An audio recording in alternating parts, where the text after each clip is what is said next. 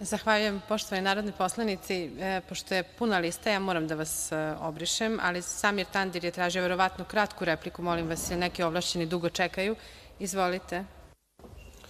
Hvala predsjednici vlade na detaljnom osvrtu.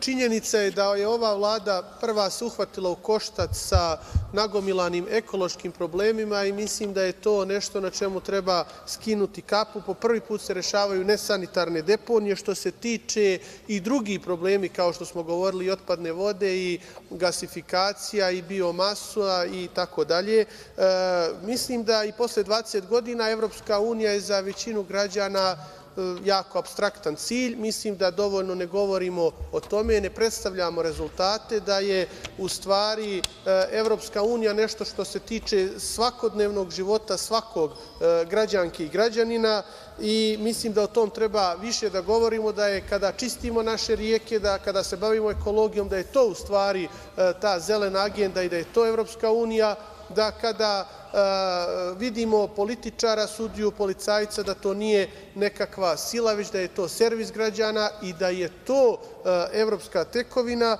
i mislim da e, o tim projektima koje u lokalnim sredinama, u manjim sredinama, u manjim gradovima Evropska unija finansirala, bilo kroz grantove, bilo kroz nepovratna sredstva, da o tom treba više govoriti. Hvala vam.